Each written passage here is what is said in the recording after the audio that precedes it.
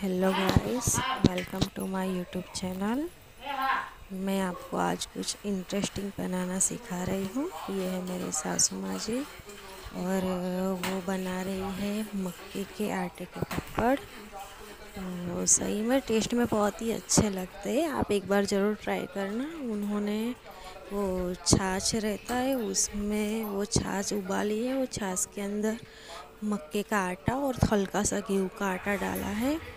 और जैसे हम जीरा अजवाइन वो सब पापड़ में डालते वो सभी भी डाला है। और ये उबल रहा है और इसे खोलते जा रहे खोलते जा रहे जैसे वो आटा अच्छे से चूड़ ना जाए। इसको अच्छे से खोलना पड़ता है। ऐसे ही खोलना पड़ता है।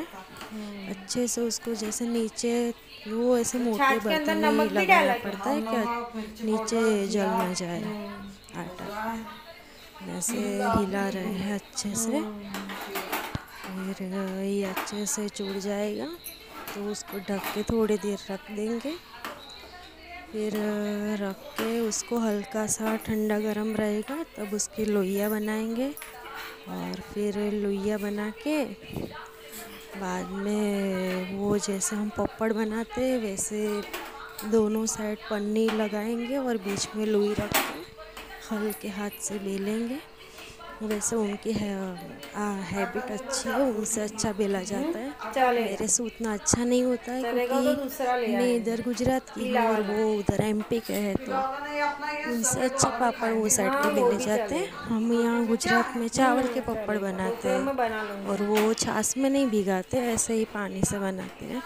मुझे इधर का ज़्यादा अच्छा लगता है और उनको वो उधर के साइड के तो वो ऐसा बोलते हैं कि हमको उधर के ही पपड़ अच्छे लगते इधर के पपड़ फिक्के फिक्के रहते सही है ना गाइस जैसे जैसे जिसकी चॉइस और मैं भी अच्छे से खोल रहे लगता है टीवी बंद कर दे। पपड़ का अच्छे से देखेंगे अभी हुआ है कि नहीं। वैसे मैं भी नए नए ही देख रही हूँ। मैंने भी ऐसे कभी, मैंने खुद नहीं ट्राई नहीं किया। वो तो आए हैं तो वो बना रहे हैं। मैं भी अभी वो जाएँगे, बाद में मैं भी ट्राई करूँगी। क्योंकि सीखने की कोई उम्र नहीं होती है, वो हम कभी भी सीख सकते हैं।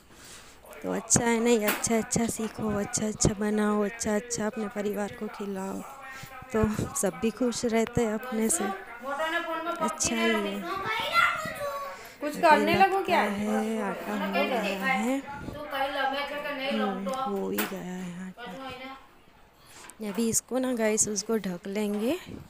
ढक के थोड़ी देर रहने देंगे ताकि वो हल्का सा ठंडा आटा थोड़ा ढक के रखना पड़ता है लोई बना सके क्योंकि ज़्यादा आटा गर्म रहेगा तो उसकी लोई नहीं बनेगी इसलिए उसको ढक के रख देंगे। और उसके बाद में उसके पपड़ बेलेंगे। अभी ये देखो हल्का ठंडा पन्नी में डाल के बनाना पड़ता है नहीं पप्पड़ और ये पप्पड़ बेल रहे हैं। देखो कितना अच्छे से बेल रहे हैं। मेरे से तो ऐसा होता भी नहीं है।